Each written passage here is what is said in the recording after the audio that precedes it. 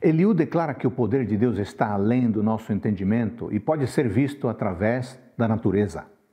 Ele conclui declarando que Deus é justo e correto. Por isso, Jó está, está totalmente errado ao acusar Deus de ser injusto e incorreto. E está errado ao exigir que Deus explique ou se justifique a Jó. No final de seu discurso, Eliú diz algo muito importante.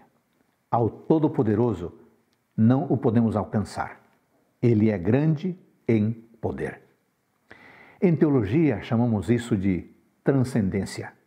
Deus, por um lado, está distante de nós, num espaço ao qual não temos acesso, num mundo que apenas Ele pode habitar. Visto dessa forma, Ele é exclusivo, único. E visto dessa forma, somos levados a pensar o seguinte: não podemos tratar Deus como se fosse um de nós, alguém parecido conosco. O fato de Deus não poder ser alcançado deve provocar em nós reverência, profundo respeito. Em Jesus Cristo, o Todo-Poderoso é Deus conosco, mas em essência, Ele é transcendente, inigualável, majestoso. Tenhamos isso sempre em mente para reverenciá-lo.